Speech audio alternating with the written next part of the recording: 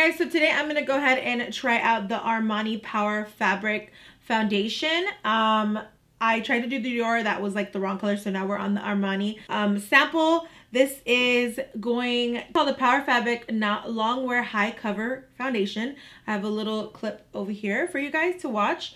So let's go ahead and follow along and see what this foundation is all about. It's a Best of Beauty, so it got the Allure, the Beauty Expert 2018 award winner, which is really exciting because I don't ever really follow Allure's award winner um, like stuff. I, I don't know, just don't know, like I'm so such an explorer and I like to know for myself what works and what doesn't work. So I never really um like try to check them out. But I should do a video on it trying to check them out, right? And see.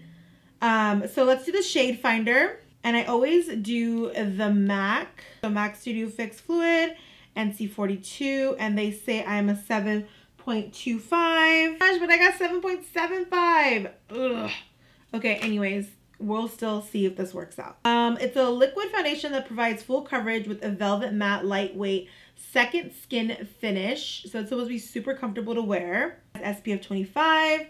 Um, it has a microfill technology, provides powerful ultra-fine pigments, shaped for the highest coverage foundation. So I'm just going to quickly prime my skin with this Wet n Wild Serum um, Focus Primer as my primer. You guys know the drill. I always do one side Beauty Blender and one side um, a brush. So I'm going to go ahead and do the brush first. So it is definitely a, a very thick foundation. So I'm going to scrape off the excess. Okay, I love the shade already. Oh my gosh, it goes, it smells, oh, it smells so scrumptious. It smells nice. Ooh, this is nice.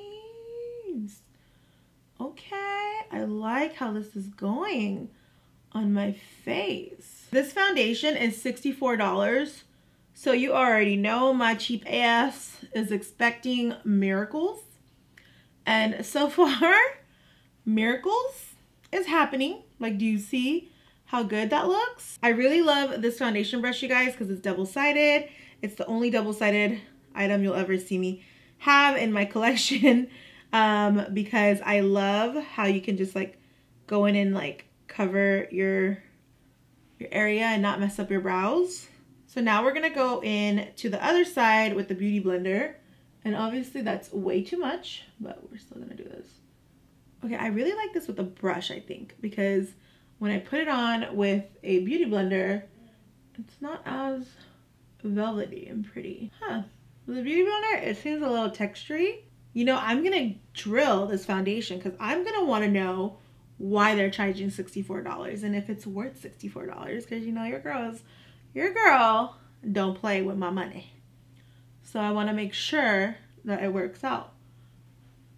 Oh my god, but it's so pretty. Literally, you guys, I feel like I have nothing on my face right now. And I'm like actually feeling myself already. It feels so good. Like I feel like I literally have nothing on my face. Huh, I've heard people say great things about this, you know, like Armani foundation, but I always thought they were like lying. Beauty girls be lying. Beauty girls be lying sometimes. I mean, I'm 100% honest, but it's like scary to be this honest sometimes because I'm like, nobody's gonna like me. Everybody's gonna think I'm like Jeffree Star 2.0. This is as close as we can get. And this is how the foundation looks on my skin. It looks gorgeous. Oh my god, this is so nice.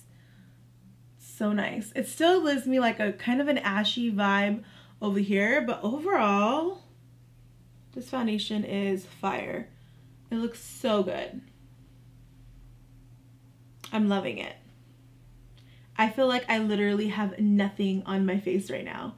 And I'm, you guys are all up in my face right now. Was on point. Um, I'm gonna go ahead and wear this foundation for the rest of the day, finish up my whole face and come back throughout the day and give you guys a check. It is officially 328. It is officially 328. I'm so sorry, you guys. I started doing foundation review really late today. I usually start in the morning, so I'll probably be able to do like a six, seven hour review on this. Um, but so far it feels so good. Like it feels so good. Okay, so I wanted to show you guys this foundation in natural lighting. Um, I do feel like I'm looking a little orange, but if you, oh my God, this foundation is freaking stunning. Just look at that. Look at my skin. It looks so freaking good and I've, I've had it on for like about an hour and I am loving it I would not mind having this as my new daytime foundation comment down below if you guys have even tried out this foundation but this foundation is I'm loving it. I'm loving this makeup look. I think that's what's going on. But and take a picture in natural light and then I'm gonna take it with a flash and show you guys how that looks. Like a lot of us don't really wear makeup all the time, but we like to wear it when we're about to take a picture, so it'll be good to know how it looks with the picture. So as you guys can see, because this foundation has SPF 25 in it, you're gonna see flashback from the um, pictures because SPF 25 usually does give a really good flashback, but honest, not like at night and you're not using a flash and you just have like natural good light, not flash photography this foundation will still look good. So you can still wear use it at night. I feel the flashback wasn't that extreme. Um, it's definitely a beautiful daylight natural like daytime photography. It's gonna look really good. Your skin is gonna look really nice and it's not gonna need any airbrushing. It's literally a facetune in a bottle. You guys has it been a while since I've been fascinated by a foundation? I think so. And I'm so fascinated by this one. This is like so good.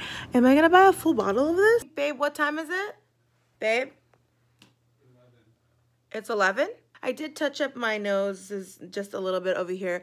I wear glasses, so the glasses well it does it with every foundation it made um, a little bit of the foundation move so guys this foundation looks so freaking good. It's not that good at controlling oils. I can see some of my oils just like seeping through in certain areas. Really love how it didn't crease crazily right here. My texture is all really nice and airbrush looking. It lasted a long time. Um, it's about a seven hour wear and it still looks really good. I just love how radiant and good my skin looks. It looks super nice foundation a rating. I would say it's a four star rating. I'm gonna give it four stars because the color selection isn't the greatest in my opinion. I did feel like i struggled with uh, color selection a little bit and then the price is really expensive but it was worth the price. But 64 dollars for a foundation that's like that's a little that's a little pressing it. But other than that it's a four star. I'll even give it like a 4.8 i just can't give it a five because it slid off my nose a little so then that wouldn't be right but if you're someone with dry skin and you know you're looking for a full coverage matte foundation, this is definitely a great foundation for you. If you have oily skin or if you have acne prone skin, I also think this will be a great foundation for you because it is very light on the skin even though it's full coverage and my skin still feels so breathable. I literally feel like I don't have anything on my face. So I think it will be still great for someone with acne prone skin um yeah you guys so if you guys want to see more foundation reviews go ahead and comment down below. Leave me a um, like on this video. Turn on the notifications and i will see you guys on the next video. Bye